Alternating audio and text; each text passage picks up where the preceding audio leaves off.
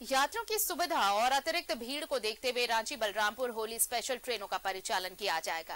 रांची से बलरामपुर के लिए 5 मार्च को ये स्पेशल ट्रेन रवाना होगी, जो रांची से रात ग्यारह बजकर पचपन मिनट पर खुलेगी। मूरी, बोकारो, स्टील सिटी कोडरमा गया पंडित दीनदयाल उपाध्याय वाराणसी भटनी गोरखपुर होते हुए सोमवार रात दस बजे बलरामपुर पहुंचेगी। वहीं बलरामपुर से ये ट्रेन 7 मार्च मंगलवार सुबह आठ बजकर पैंतालीस मिनट पर प्रस्थान करेगी और बुधवार सुबह पाँच बजे रांची पहुंचेगी।